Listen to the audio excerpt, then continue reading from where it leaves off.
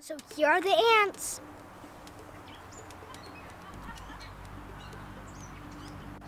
Ants are small but strong creatures. They could lift up to 50 times their own body weight. That would be like a person lifting a truck.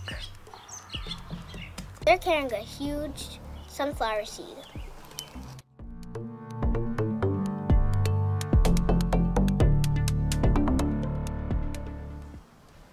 Why they're on this flower? Because they're very sweet and sticky liquid on here. They really like sweet things like candy or dripped ice cream. Have you ever had ice cream and let it drip on the ground? Well, you've made a meal for the ants. Ants are related to bees and wasps. That's why they like flowers so much. Ants can be found everywhere in the world except for Antarctica.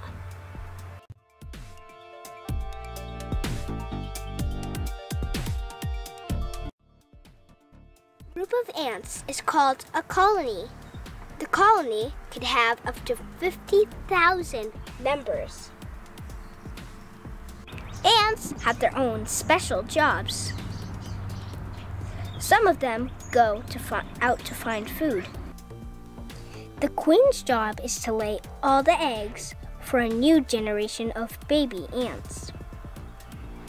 The queen has a much bigger body shape than these really tiny ants. The queen is very deep in the ground. We lifted this toolbox up and then we found this. There's some eggs. Right now they're carrying them to the queen. If you steal one, they, they will definitely bite you. See how they're bringing them safely into the tunnels? They're bringing them to the queen right now.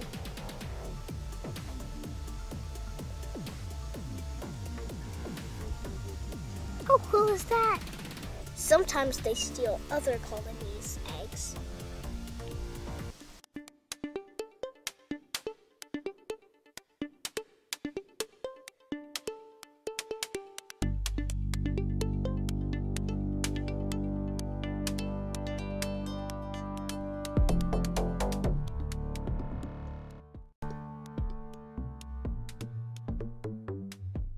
Look, they're all done.